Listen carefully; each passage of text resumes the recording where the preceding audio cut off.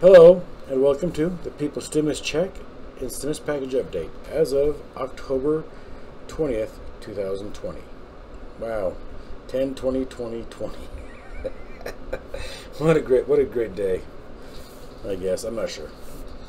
Well, when it comes to the second stimulus check and stimulus package, here's what's going to be what's basically going on. Nancy Pelosi and Steven Mnuchin, they basically continue to negotiate over the stimulus packages.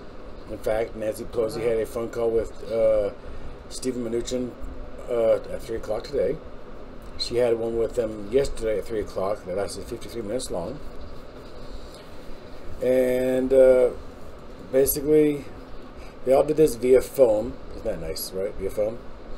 Both Pelosi and Mnuchin have instructed their staff to work around the clock on the next stimulus package.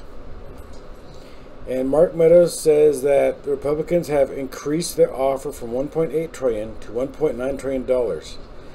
And I gotta say this, I gotta thank my a very valuable resource that actually let me know about this yesterday. That'd be one of my viewers named Freddie. You know who you are, buddy. Thank you, man. But this is still short of what Nancy Pelosi wants of 2.2 trillion dollars. The Senate, the Senate is voting on a standalone bill for a second round of PPP money for self-employed and small businesses. They're doing that today. And the Senate will be voting on another standalone bill tomorrow, which will include the extension of unemployment as well as, well as other benefits.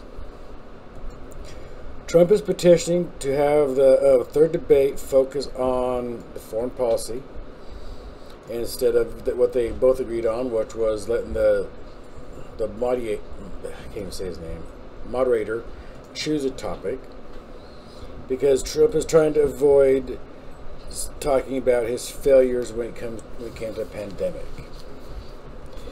and how poorly he handled it. So basically, he wants to avoid that topic because he know he sucked.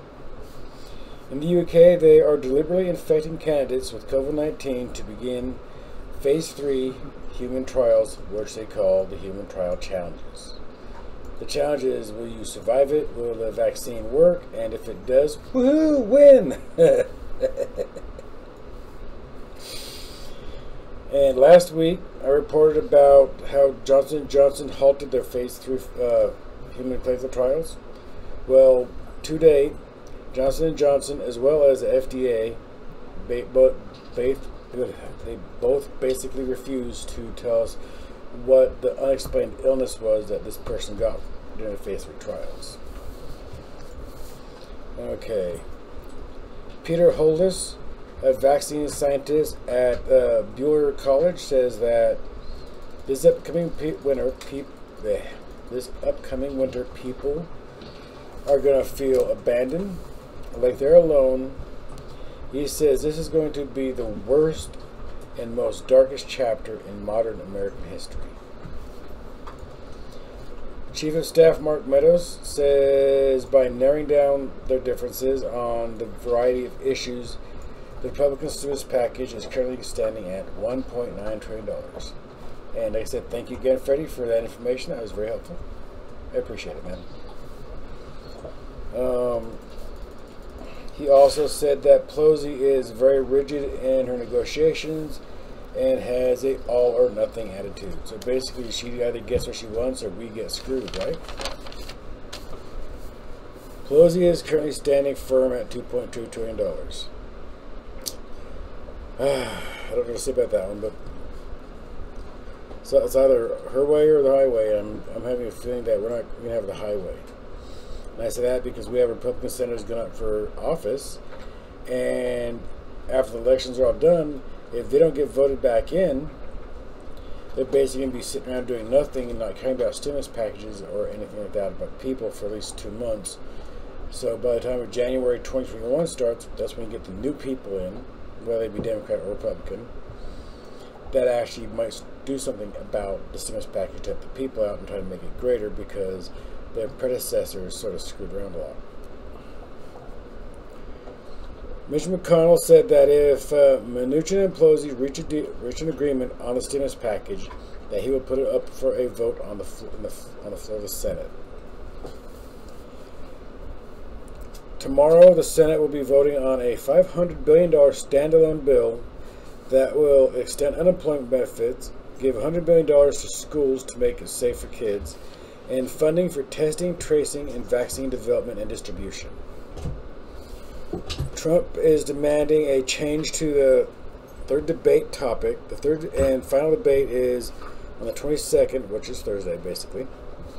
And it says that Trump wants to focus on the foreign policy because he believes, well, because he's too afraid of answering any questions about how he failed the American people during a pandemic. God, you, God, you.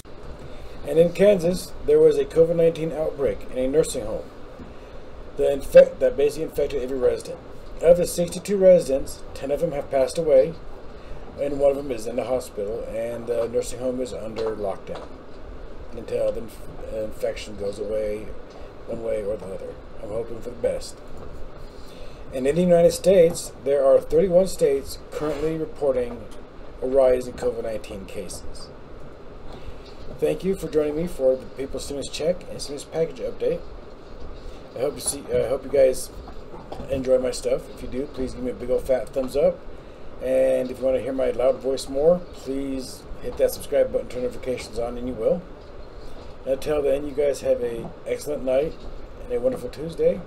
Please stay safe, and remember, we're all in this together. Bye.